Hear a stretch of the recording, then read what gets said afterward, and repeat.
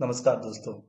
रोजहब के पहले video tutorial में आप सभी का स्वागत है। मैं हूँ रामकेश पटेल और आज हम मैं आप, आपको सिखाऊँगा वैदिक मैथ के कुछ सूत्र जिसमें हम आज सीखेंगे dodging tables up to hundred in dodging tables का मतलब होता है कि जैसे जैसे किसी ने आपसे पूछा कि ट्वेल्व इंटू सेवन या बारह सत्य कितना होता है?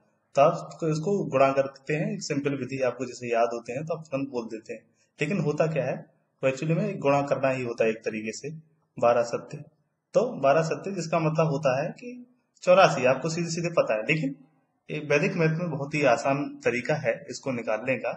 तो इसको बस आपको केवल एक चीज़ का याद रखना है, जब भी कोई माइंड कैलकुलेशन करते हैं या मेंटली कैलकुलेशन करते हैं तो हमेशा लेफ़्ट टू राइट करें। क्योंकि हम जो बोलते हैं, वो लेफ़्ट टू राइट ही बोलते हैं।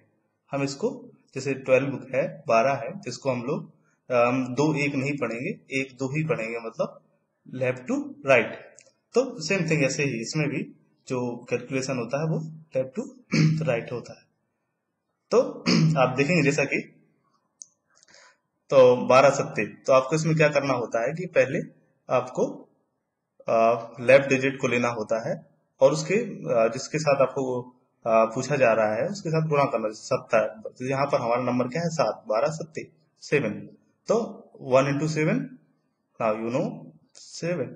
और चूँकि दहाई का अंक है, दो अंकों में हमारा आंसर आने वाला है, उत्तर आने वाला है तो एक ज़ीरो हम रख देंगे। तो हमारा बन जाएगा सत्तर।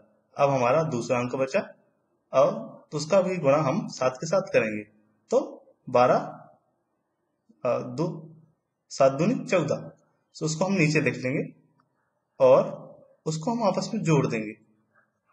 तो आप जानते हैं इसका आंसर सात एक आठ और एक चार, चौरासी।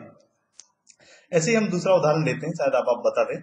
किसी ने आपसे पूछा, थर्टी फाइव, सिक्स जा।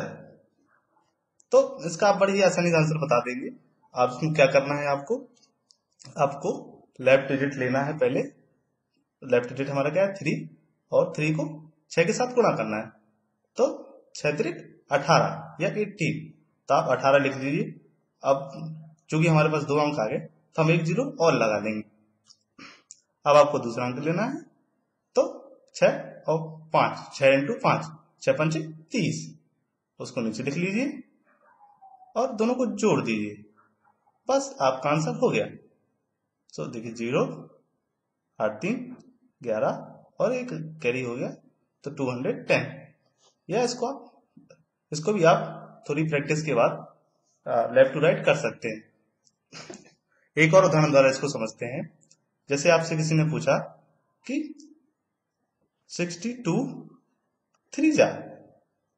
तो बड़ा ही इसका उत्तर होगा। आपको आप शायद ही बता पाए आप लोग। बड़ी आसानी से इसको बता पाएँगे।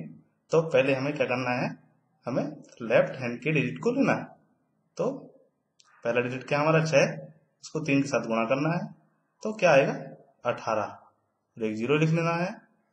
फिर ऐसे ही इसको दूसरे डिजिट को लेना है। इसको तीन के साथ करना है गुणा। तो छह। होती है छह। इसको लिख लिया अब आपके पास उत्तर आ गया। दोनों को जोड़ देना है। तो एक सौ छियासी। हो गया। डन